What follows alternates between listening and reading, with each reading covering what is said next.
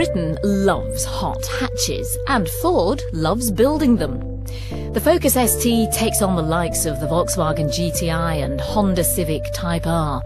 But will it get the pulse of buyers racing once again?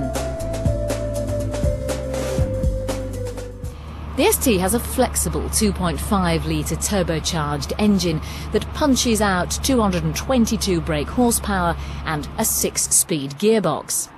Initially, it doesn't feel like it has enough sparkle because its pulling power is spread over such a wide rev band, so there's no real performance explosion. But it's certainly quick as well as very drivable. The distinctive fruity tone of the five-cylinder engine is there when you step on the gas, and there are pops and bangs from the exhaust on the overrun. It's fun when you're in the mood, but can become tiresome when you're not. Road noise isn't a problem despite the girth of the tyres rolling over the road surface, but there's a fair bit of wind noise. The ST's drive is super sharp thanks to a programme of suspension stiffening and lowering that surprisingly doesn't damage ride comfort. The car changes direction incisively and holds its course at all speeds on all roads, although it's not as agile as the VW Golf GTI.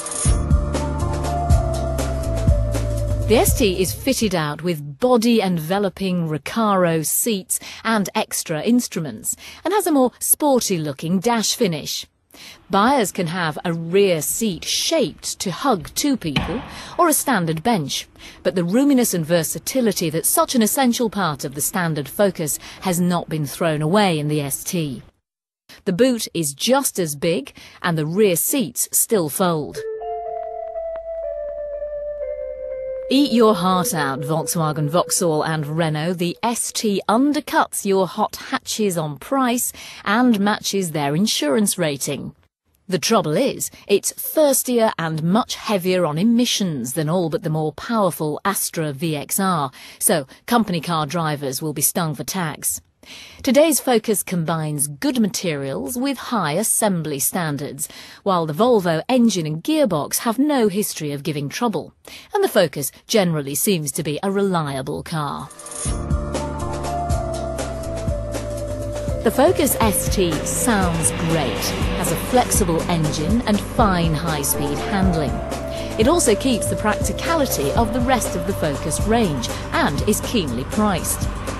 But before you throw open your wallet, bear in mind that it's a thirsty car, returning just 20 miles per gallon if you use all the performance. It's not as sharp or as classy as the Golf GTI either.